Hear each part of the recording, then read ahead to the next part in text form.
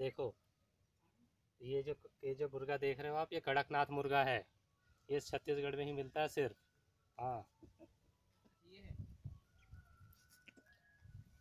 अगली बार जब हम यहाँ आएँगे तो